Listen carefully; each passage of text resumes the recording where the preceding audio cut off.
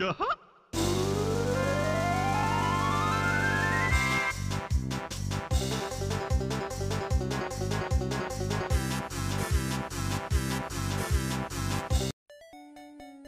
In 1962 Space Wars was released. This is the first computer-based game. In 1968 Ralph Baer patents his interactive television game. Four years later Magnavox releases Odyssey. This is the first home video game system.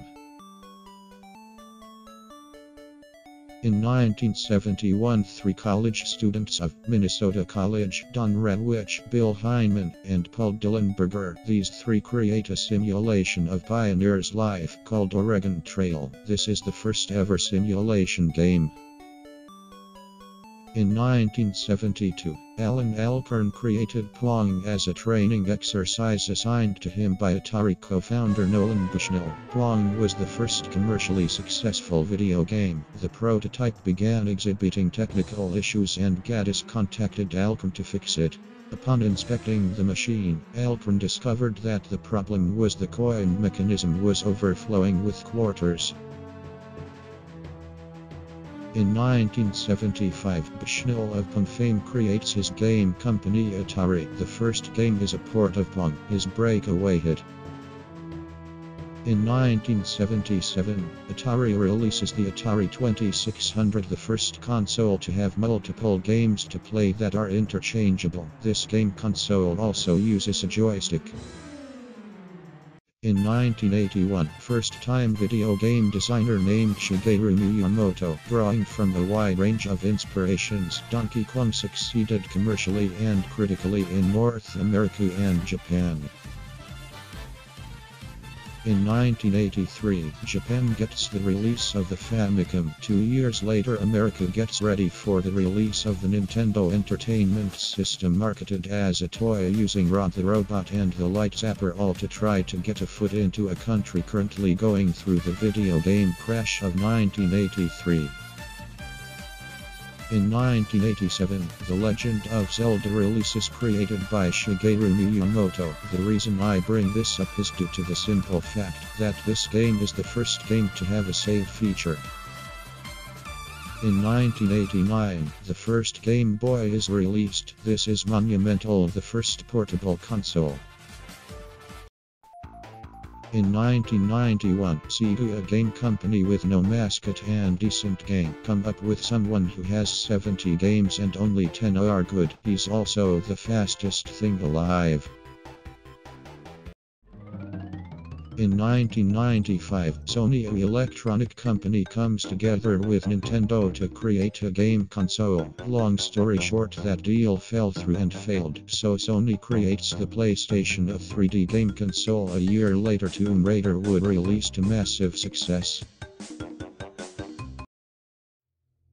In 2001, Microsoft enters the console wars war to see who can make the best gaming console. With Sega exiting the console war this very year, it came down to these three companies leading the console wars Nintendo and their mascot Mario, Sony and their mascots like Nathan Drake, Pro and Crash. The XBOX mascot is considered by many to be Master Chief.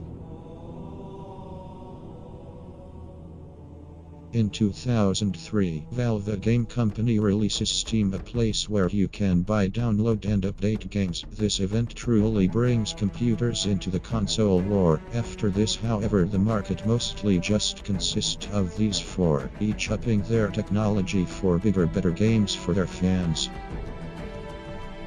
Throughout history there has been advertisements, some last the test of time and some are why what does this mean how does this relate to your product here are a few both and when they came out. Magnavox presents Odyssey, the electronic game of the future. Odyssey easily attaches to any brand TV, black and white or color, to create a closed-circuit electronic playground.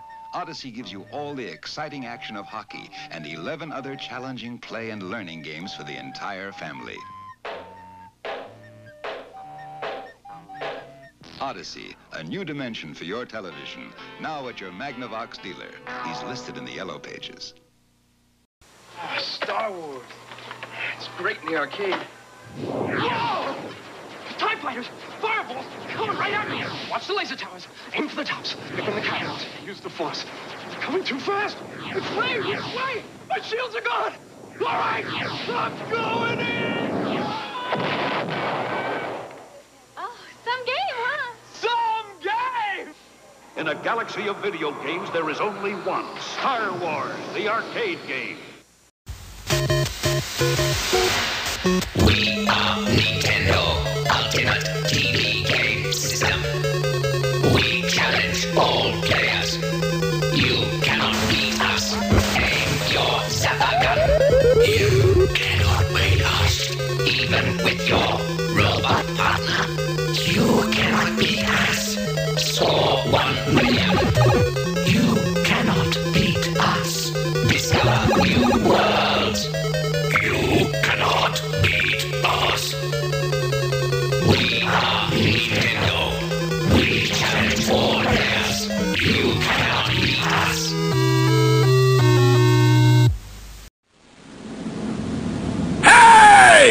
Yes? You look like a real jerk. Well, I am a corporate executive. He stops exciting things from happening. So what you doing? Well, Muffy, Buffy, Biff Jr. and I are going on our Sunday drive. Oh no, you ain't. You're gonna play pole position.